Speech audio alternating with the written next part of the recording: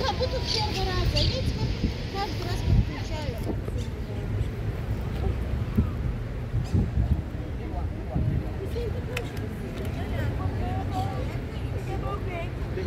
Ela faz